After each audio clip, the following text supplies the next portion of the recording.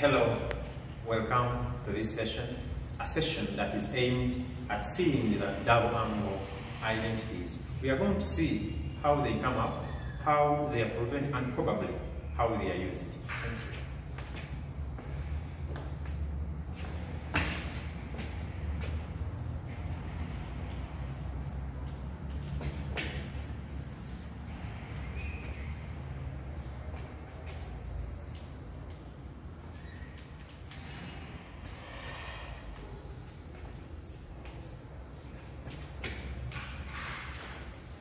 Double angle identities. Now, form compound angles of sine of two angles added together, cosine of two different angles added together, and the tangent.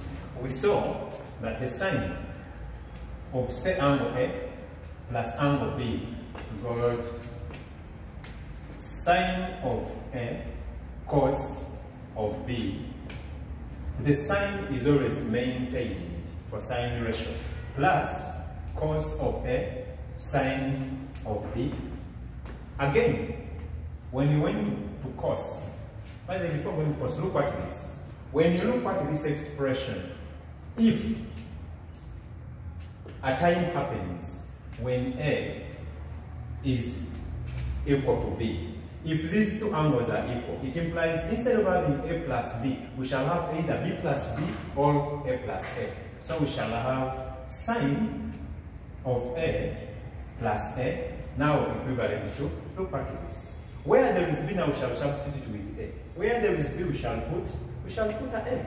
So we shall have sine of A cos A plus cos A sine A. When you look at this and this, sine A cos of A and cos of A sine A, they are practically the same. They are identical. So what we do, it is two times of sine A cos of A because sine appears twice and cosine appears twice in a sum expression. So when you have this, you can possibly now say that the sine of twice of angle A will be 2 sine of A cos of A.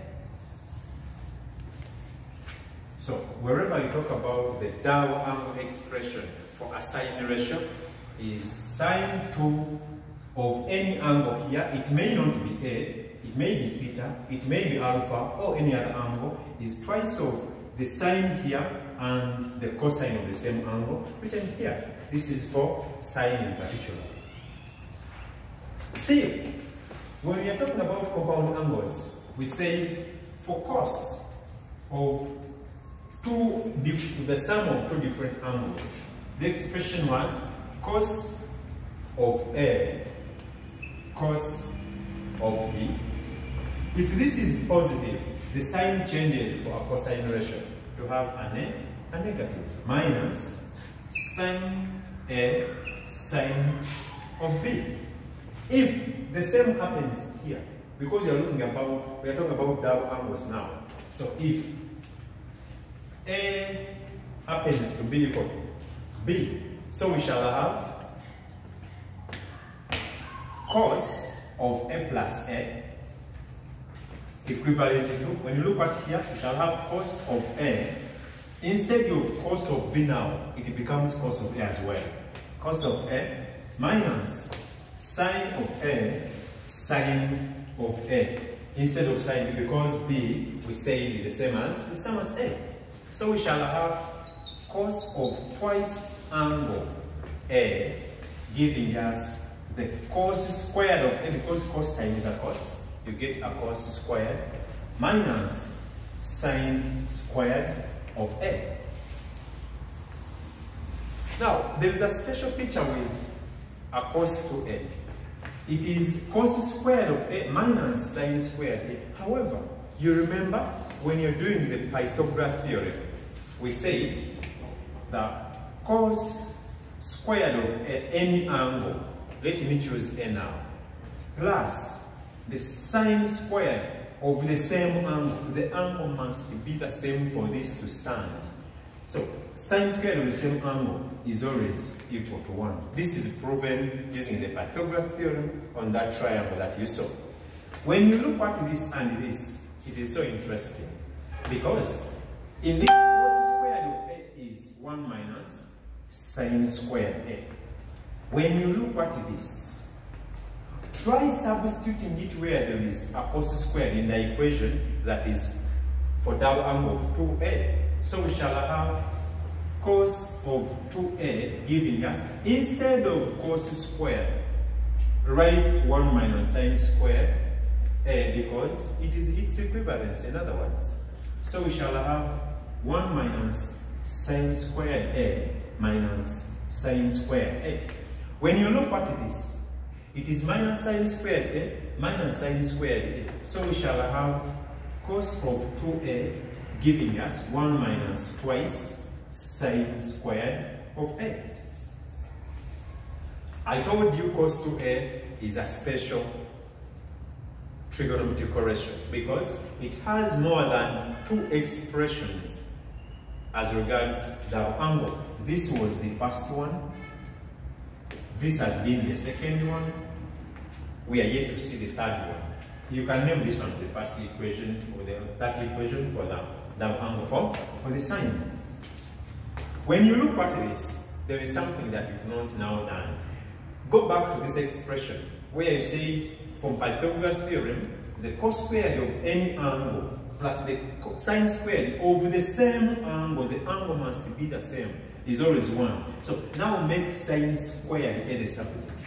After making the subject, substitute it where the sine squared in the first expression that you got for cos, for cos of 2a.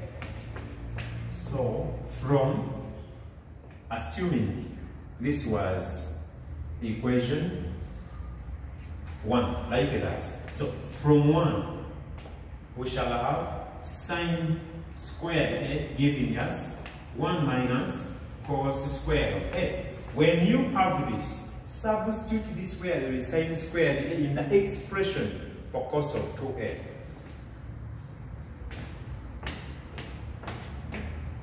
We shall have cos 2a giving us cos squared a minus, instead of writing sine squared a, now put the expression of sine squared a in terms of cos. So we shall have minus, since this is a negative, you create this bracket to respect the negative sign that is written here.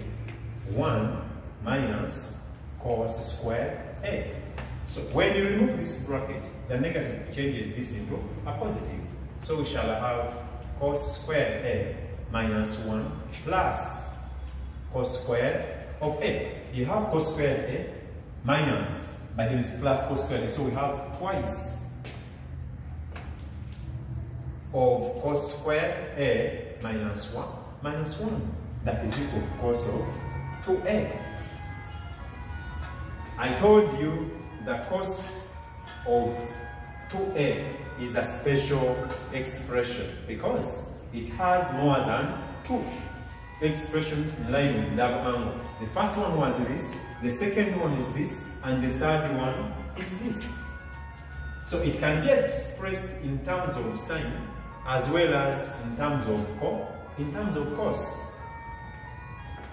After seeing the double angle expression for sine 2a and cos of 2a, now we want to see what about tan 2a.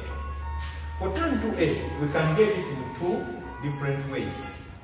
The first way is to respect the ratio that it is tan is normally sine divided by a cosine. Or you can do it just like you've been doing here. And you say, for tan of a plus b, from compound angles, it is tan of a plus tan of b divided by 1 minus tan a tan of b. If we maintain a stand that A equals B even in this sense, so that we can create twice of one of the angles. And we say, if A equals B in this sense, so we shall have tan of A plus A giving us tan of A plus tan of b. Instead of b now, we write an a.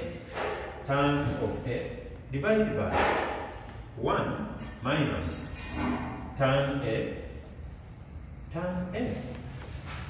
So this one becomes tan of 2a after adding a plus a, giving us twice of tan a, this is tan a plus tan a, we get two times of, two times of tan a.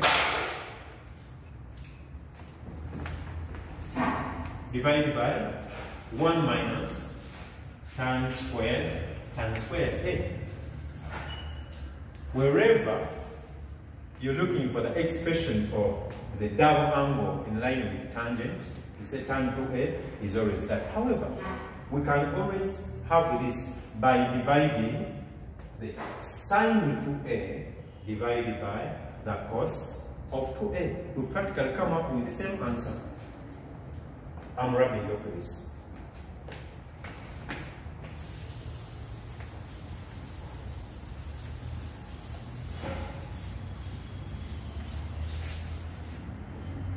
So we shall have for tan alternatively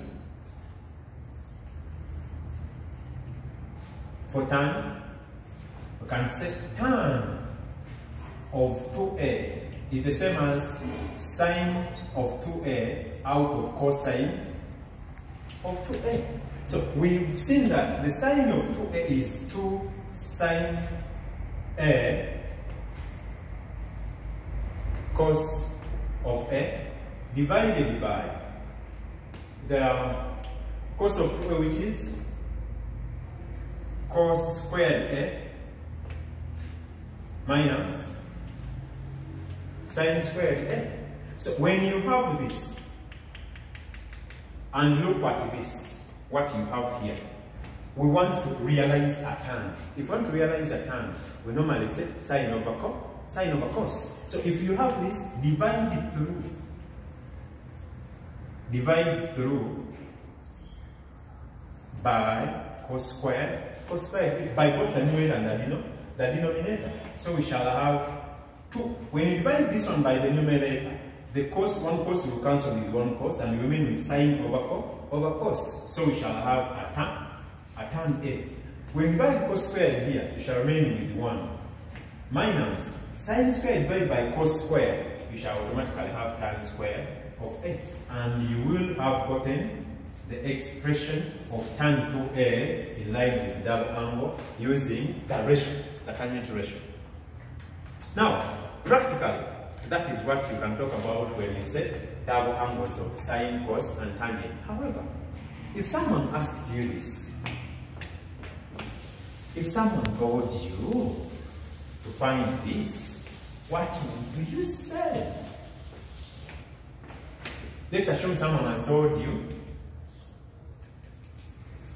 to find, maybe someone say find the expression for cos 3a. If someone asked that, how would you say? Would you say that one is a triple angle? Would you call it something else? Remember, from double angle you can realize this using the same information and knowledge from compound angles. So, so what you do in your solution to find the expression, I'm doing this, I'm giving you some, something else that you will do. So, uh, the cos of 3a is exactly the same as cos of a plus 2a. When you look at this, express this one like you do with compound angles. So we shall have cos of a, cos of 2a. Then, since this is plus, it becomes a, a minus. Sine of a, sine 2a. Now, we are looking for the expression for cos of 3a. Make sure that you eliminate the sines within the work that you're having. If that is the case, we shall have cos of a. What is cos of 2a? In line with the sine, or in relation with the sine, sorry, in relation with cos. If it is a cos expression we are looking for, putting everything here in terms of cos. So cos of 2a in terms of cos is 2 cos squared a minus 1. We still have it there. Then minus, what is sine 2a in line with, with cos? Or you may just write the expression for sine 2a that we got at first. And you say you have now sine a into 2 sine a cos a. This one is an expression for sine 2a. Push on. So you will have, open this bracket, 2 cos cubed of a. Now this cos a times 2 cos squared, you get 2 cos cubed of a. Minus cos of a. After having this, do the same here. So you will have minus 2 sine squared of a. Sine a times sine a, sine squared. But there is a 2 here that multiplies this. Then you have cos a. After writing this, ask yourself, how do I remove this? You remember the Pythagorean theorem that we say, it is not here, I rubbed it off. We say um, sine squared a is equal to 1 minus cos squared a from Pythagoras theorem. So this implies we shall have 2 cos squared, cos cubed of a minus cos of a minus. Instead of this now, we are substituting it for this because you are looking for an identity of cosine. So we shall have minus 2 into 1 minus cos squared a representing this only, then times cos of a out, which this one. After having this, then you have the answer now because everything is in cos. So we say it is 2 cos cubed of a minus cos of a, then minus, these two multiplies a cos. So we have 2 cos of a, cos a times 1, you get cos a times negative 2, you get this. Then this times this, you get a plus. A plus. Remember there is cos a that multiplies this as well. So we shall have 2 cos cubed of a. When you look at cubes, they are 2. So when you get this plus this, you end up getting 4 cos cubed of a minus, these are 3. 3 cos of a. In simple terms, this is the expression for cos of 3a. Now the task is, you're going to find the expression for sine 3a and tan of 3a. This is your task now.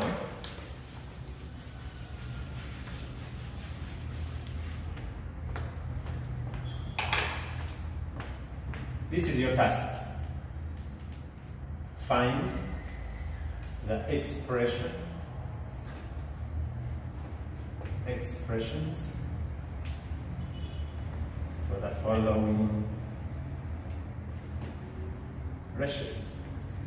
One is sine 3 theta and 2 is tan 3 theta. After doing this, try this one as well.